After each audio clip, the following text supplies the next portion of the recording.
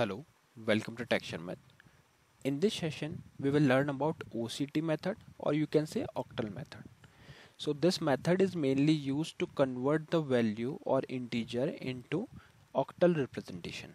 Okay, so whenever you want to convert any value into octal representation, which is possible to convert, right? So in that case, you can use OCT or octal method.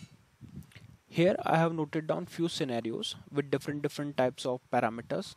So that we will see like what all argument we can pass to it and how it will convert the uh, equivalent value as an octal representation.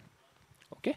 So let's uh, look at the first scenario. Here what we are doing we are storing one value as in variable value which is 42 and then we are passing this value inside octal representation uh, octal method OCT method. So this is my argument. So what it will do it will provide the equivalent value uh, in terms of octal representation and then we are storing it inside result variable.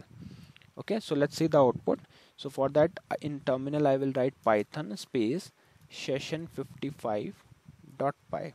So what is session 55 it is my program name. So I'm running this and you can see for the first scenario it prints 0052 so this is the octal representation of 42 okay. Now look at the second scenario. Here we are storing the value but in negative right? This is the negative value. So if you pass the negative value then it will convert the octal representation with negative sign itself. Okay. So we can pass the negative values also.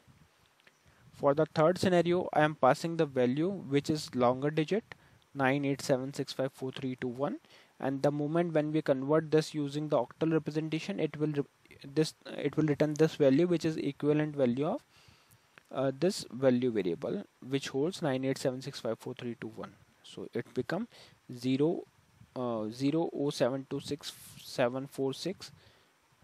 4261 okay now what will happen if we pass the value as 0 will it convert? Yes it will convert. So the octal representation of value 0 is 0 o 0 okay?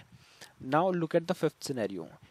This is something relevant to the first scenario because here also we are uh, here we are passing 42 right? But in first scenario we were passing through variable. So I'm storing the value in variable then I am passing it.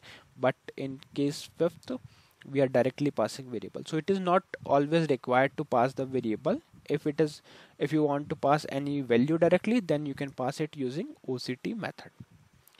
Now look at the sixth scenario which is commented. Why I have commented this? Because this is just for some explanation like what will happen if we pass value which is not which can't be converted right?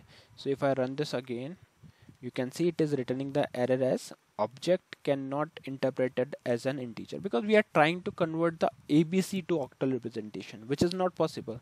You can't convert ABC to octal representation right? And that's why it is giving error.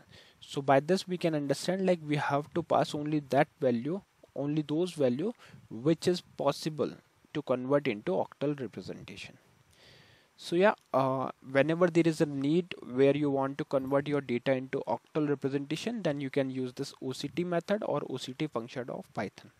I hope it is clear to all of you. In the next session we will discuss few more things. So thank you for watching TechSharmit